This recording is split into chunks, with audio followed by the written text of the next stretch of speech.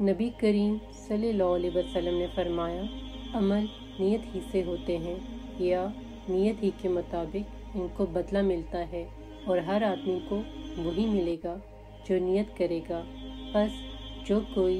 अल्लाह और उसके रसूल की रज़ा के लिए हिजरत करे, उसकी हिजरत अल्लाह और उसके रसूल की तरफ़ होगी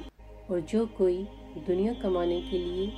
या किसी औरत से शादी करने के लिए हिजरत करेगा तो उसकी हिजरत इन्हीं कामों के लिए होगी।